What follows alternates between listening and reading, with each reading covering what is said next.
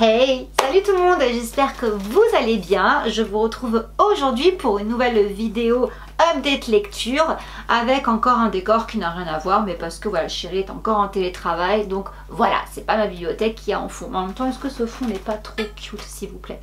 Je l'adore. J'adore mon fond là. J'adore Donc j'ai pas beaucoup de lecture parce que voilà, je vous avais pas caché que j'ai pas lu des masses ces temps-ci. Il n'y a seulement que trois bouquins. Mais trois bouquins hyper sympathiques. C'est pas des lectures de dingue, hein, je vous préviens tout de suite, il n'y a pas eu de gros coups de cœur. Mais en tout cas, ça a été vraiment des lectures très sympathiques. J'ai eu beaucoup beaucoup de plaisir à les lire et je vais démarrer avec Le Château des Brumes que voici de euh, Kirstine Gier et c'est aux éditions euh, Milan. Voilà, voilà. Alors, de quoi ça parle Donc, euh, dans ce livre-là, on va rencontrer euh, Fanny, qui est une euh, jeune stagiaire de 17 ans, donc elle travaille dans un hôtel. Et bon, bah, tout se passe très bien, elle s'entend relativement avec quasi tout le monde. Et elle va faire la connaissance du fils d'un des patrons, parce que ce sont deux frères qui ont, qui créé cet hôtel. Et elle va faire donc la connaissance du frère, qui, du fils, pardon, qui vient euh, travailler à l'hôtel et euh, va également rencontré un autre garçon euh, qui est un petit peu mystérieux, tout ça, mais voilà. Dit comme ça, ça ressemble à un trio amoureux dans un hôtel, c'est pas le cas. Il va se passer des choses parce que en fait dans cet hôtel il y a plusieurs gens qui sont un petit peu un petit peu bizarre, on sait pas trop ce qui se passe, il y a des histoires euh, avec quand même des gens assez riches qui viennent, euh, qui ont des, un peu des casseroles derrière eux on va dire, d'autres qui se pointent, euh, on sait pas s'ils ont des vues sur des gens fortunés. En fait dans ce livre on va un petit peu rencontrer une atmosphère à la Hercule Poirot, vous voyez, c'est qu'il va y avoir un événement qui va faire que ah, il y a une espèce d'enquête qui va se mettre en place et Fanny va complètement y participer euh, d'ailleurs. Et pour cela, donc, elle va s'allier avec euh, un des clients de l'hôtel, donc euh, fameux jeune homme qui, je ne sais même plus comment il s'appelle. Et en parallèle, voilà, elle traîne aussi un petit peu avec le, fils du propriétaire. Et donc voilà, c'est un petit peu, ouais, on va dire quand même un petit peu un triangle amoureux entre, les, trois, c'est pas vraiment ce qui est mis euh, le plus en avant. C'est, je vous dis, vraiment un petit, euh, un petit Hercule Poirot euh, sympathique. je dirais pas version teenager parce que les protagonistes en beau et jeunes, ça se passe quand même dans un hôtel avec des gens de tout âge. Donc il y a vraiment beaucoup de personnages aussi qui rentrent en ligne de compte. Mais en tout cas, le personnage de Fanny, je l'ai vraiment beaucoup adoré. Elle est super drôle. Et c'est pas le personnage féminin euh, Comme je vous dis, voilà, la romance, il va y avoir une romance mais c'est pas ce qui est au premier plan quoi. On n'est pas là euh, dans la guimauve et compagnie quoi. Non non, le, ce qui est vraiment au premier plan c'est l'intrigue. C'est qui a fait quoi? Je peux pas vous dire. Mais voilà, il y a vraiment toute une intrigue. Notamment sur un... Bon ça par contre je peux vous le dire, il y a un vol de bijoux apparemment qui est programmé dans cet hôtel. Donc euh, voilà, mais il y a, d'autres choses euh, derrière. Et ouais, moi j'ai trouvé ça sympa. Ça m'a vraiment fait penser à des Hercules à la arabesque, Hercule Poirot. C'était super sympa et je m'attendais pas en fait à avoir ça là-dedans. Elle est loin de se douter qu'elle risque de perdre non seulement son emploi mais aussi son cœur. Oui, donc c'est sûr que dit comme ça, on pense tout de suite à une love story, mais non, je vous assure qu'il faut vraiment plus, euh, se pencher sur, euh, sur les clients de l'hôtel. C'est quoi leur business en fait? Qu'est-ce qu'ils font dans cet hôtel? Qu'est-ce qu'ils cachent dans leur chambre? Qu'est-ce qui s'y passe quoi? C'est plus euh, ce que je retiens euh, de cette histoire. D'ailleurs c'est marrant parce que ce livre-là, je l'ai enchaîné euh, juste après Winter House Hotel. Donc voilà, j'ai passé un bon moment dans, des hôtels, ça m'a fait assez rire. En plus à Noël également, dans la période de fête de fin d'année. Donc voilà, Winter House Hotel de Ben Gutterson avec l'illustration de Chloé Bristol édition With Albin Michel. Est-ce qu'il y a besoin que j'en parle Forcément, je pense que tout le monde connaît cet ouvrage qui est ma foi somme toute très sympathique, c'est de la jeunesse. Et en fait, euh, j'ai beaucoup aimé. Il y a des charmantes illustrations dedans. J'ai vraiment passé un super moment avec ce bouquin quoi. Donc là en fait on retrouve euh, une jeune fille qui s'appelle euh, Elisabeth. Je crois qu'elle a 13-14 ans il me semble, je ne sais plus trop. Mais oui c'est une jeune ado. Et bon, ses parents sont décédés et qui c'est qui s'occupe d'elle déjà? Je crois que c'est son oncle et sa tante, je sais plus. Enfin, c'est un peu, on va dire, comme les Thénardier, quoi. Voilà, c'est... c'est vraiment, euh, ce sont des gens, euh, déjà ils vivent assez pauvrement. Elle, il n'y a pas, vrai, a pas d'amour, il n'y a pas de chaleur là-dedans, quoi. Il n'y a, y a, rien avec ces gens-là. C'est des gens, je vous dis, c'est les Thénardier, quoi. Y a, voilà, c'est rien. Elle, tout ce qu'elle aime, c'est lire, lire, lire, lire et lire encore. Et en fait, l'histoire commence où, où c'est son oncle et sa tante euh, partent en vacances, chose qui n'arrive jamais, vu que, je vous dis, ils n'ont pas de sous. Et euh, du coup, il l'envoie dans un hôtel, donc euh, le Winter House Hotel. Et elle, à la base, elle n'est pas très chaude. Elle dit bah non, euh, elle, elle voulait profiter d'être restée tout seule dans la maison pour pouvoir bouquiner, faire sa petite vie. Mais non, non, elle n'a pas le choix, faut qu'elle aille là-bas. Du coup, elle y va un peu entrer dans la pâte. Et en fait, quand elle va arriver dans cet hôtel, elle va être complètement sous le charme.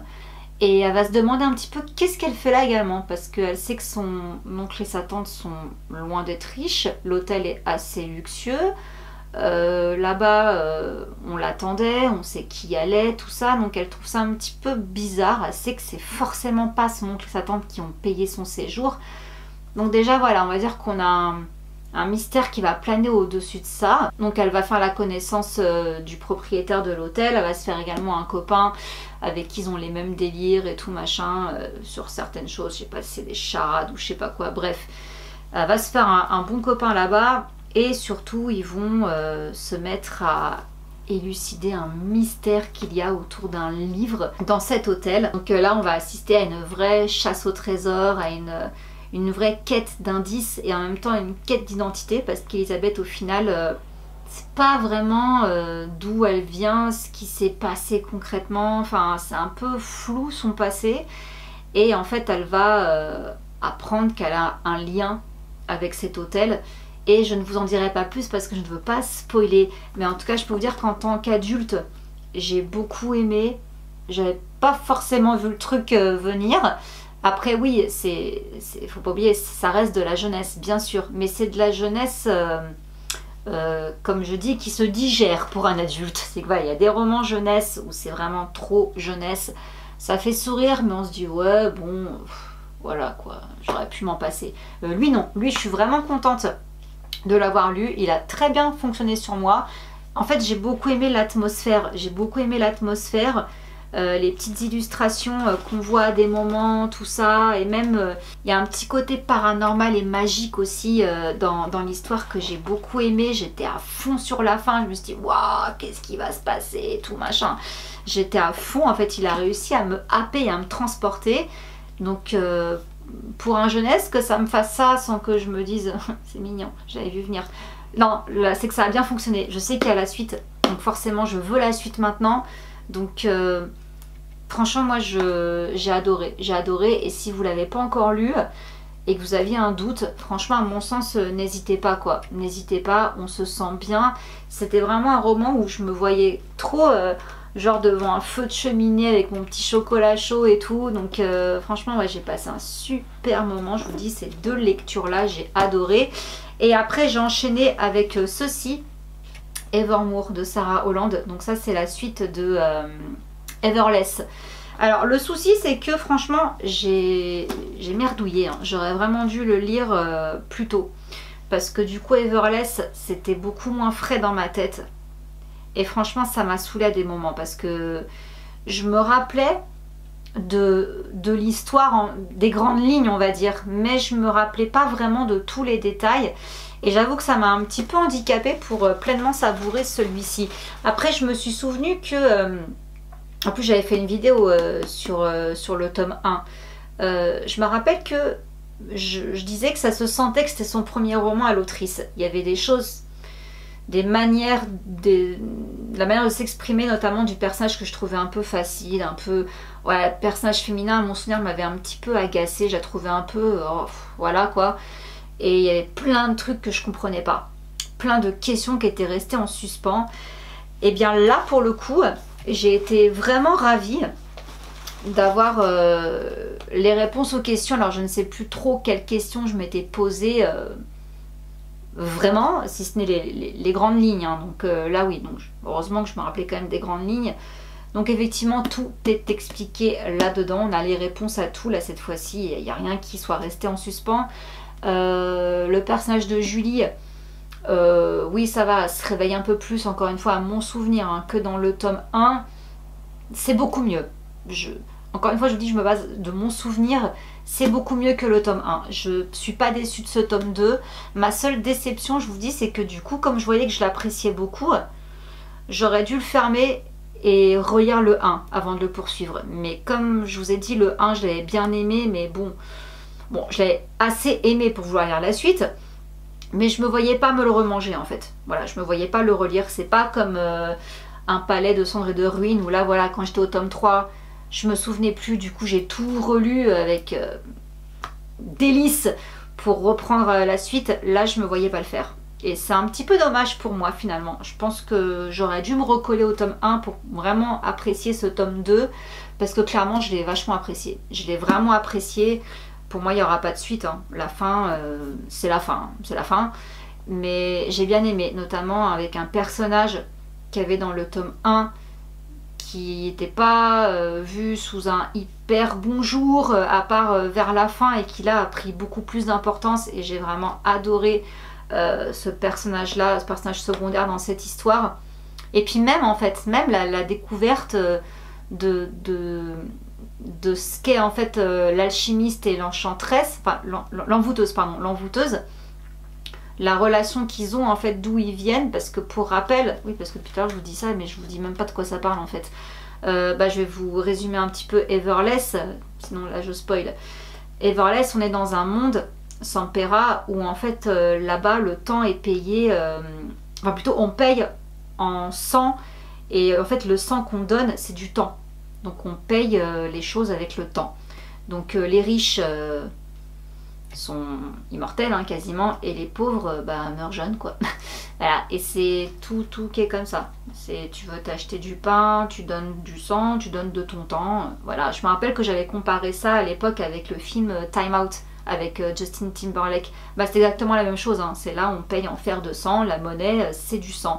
Et en fait celui qui est à l'origine de tout ça, c'est donc euh, l'alchimiste qui a donc réussi à transformer, euh, bah, créer ce, processus en fait de, créer le, sang en temps, en monnaie. C'est lui qui est à la base de tout ça. Et mais du coup, j'ai pas spoilé parce que c'est la fin du 1. On apprend qui est réellement l'alchimiste. Et là, du coup, euh, dans ce 2, on voit aussi son rapport avec l'envoûteuse. Quelle est l'origine de tout ça? Pourquoi on en est là aujourd'hui? Et quelle doit être la finalité? Voilà, je pense que là j'ai bien résumé sans rien spoiler du tout. Donc franchement, euh, si comme moi vous avez oublié complètement Everless, je sais pas si c'est pas grave en fait. Je veux pas vous dire n'importe quoi. si vous vous sentez de le relire, relisez-le pour bien vous mettre après dans ce tome 2 parce que franchement je vous dis, euh, j'ai bien aimé. J'ai bien, bien, vraiment bien aimé. Donc euh, je vous le recommande et je vous dis, j'ai les préférés au tome 1. Donc, euh, mais je pense, je quand même que, ouais, ok, j'ai beaucoup de livres à lire, je sais. Mais je pense qu'un jour, je me referai les deux d'un coup. Je pense vraiment parce que des moments où j'étais frustrée, en fait, je me disais, mais je me souviens plus trop, qu'est-ce qui s'était passé exactement. C'était vraiment par, par vague, ça me revenait. Mais je vous dis, hein, je l'aurais beaucoup plus savouré si j'avais eu vraiment bien le, le 1 euh, frais dans ma tête, quoi. Voilà. Mais écoutez, c'était un petit update, euh, petit update qui a quand même duré son temps, hein, faut le dire. Euh, j'espère qu'il vous aura plu. Hein. donc euh, si c'est le cas, vous connaissez la chanson. N'hésitez pas à liker, à vous abonner, également à commenter. Hein. hyper important bien sûr les commentaires, d'avoir votre avis sur euh, ces livres. Est-ce que vous les connaissez? Vous en avez pensé quoi? Blablabla. N'hésitez pas à me dire tout ça, ça m'intéresse toujours beaucoup. Et puis sur ce, je vous fais plein plein de gros bisous et je vous retrouve à très vite pour une prochaine vidéo. Bisous, ciao